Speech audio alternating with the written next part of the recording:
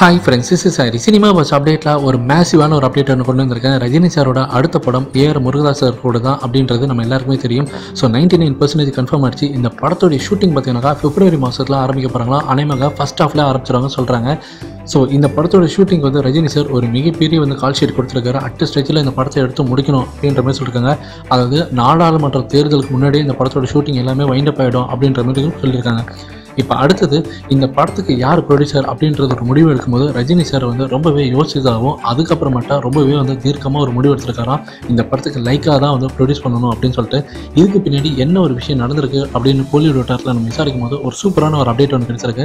ரஜினி சாருக்கு சன் பிக்சர்ஸோடைய அந்த செயல்பாடுகள் இப்போ சமீபத்தில் அவங்க பண்ணது எதுவுமே ரஜினி சாருக்கு வந்து சுத்தமாக பிடிக்கல அப்படின்ற மாதிரி சொல்லியிருக்காங்க ஸோ ஆடியோ லான்ச் வரைக்கும் எல்லா தான் நல்லா போயிருந்தது ஆனால் அதுக்கப்புறமேட்டா இந்த படத்தோடைய ரிலீஸ் பொங்கலுக்கு தான் அப்படின்னு சொல்லிட்டு சன் பிக்சர்ஸ் ரொம்ப ஸ்ட்ராங்காக இருந்திருக்காங்க. ரஜினி சார் எவ்வளவோ வந்து அன்பு கட்டளை விட்டுருந்தாலும் கூட அதை வந்து கொஞ்சமே அவங்க காதில் வாங்கிக்கலையாம் ஸோ ரஜினி சாரோட எண்ணம் என்னன்னாக்கா டூ பாயிண்ட் oh படம் ரிலீஸ் ஆகி ஒரு ஐம்பது நாள் ரிலீஸ் ரிலீஸ் ஆகி ஒரு ஐம்பது நாள் கழிச்சு இந்த படத்தை ரிலீஸ் பண்ணால் நல்லாயிருக்கும் பேட்டை படத்தை அப்படின்னு அவர் யோசிச்சிருக்காரு.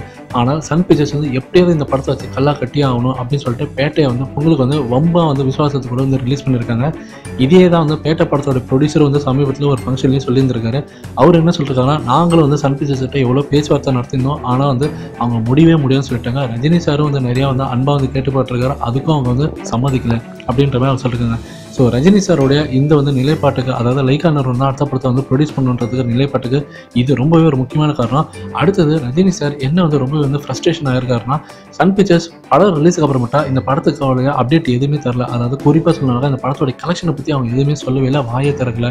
ஸோ இதுதான் அவருக்கு ரொம்பவே டென்ஷனாக இருக்குன்ற மாதிரி சொல்கிறாங்க ஆனால் இதுக்கு அப்படியே மாற பார்த்தீங்கன்னா லைக்கா நிறுவனம் என்னதான் இந்த படத்துக்கு அதாவது டூ பாயிண்ட் oh படத்துக்கு வந்து அந்த பட்ஜெட் எகிரி போனாலுமே கூட கொஞ்சம் கூட முகம் சொல்லிக்காமல் பட்ஜெட் வந்து நூறு கோடி ரூபாய்க்கு மேலே அதிகமாக போயிருக்கு அசால்ட்டாக அந்த நூறு கோடி வந்து படத்துக்காக செலவு பண்ணியிருந்தாங்க.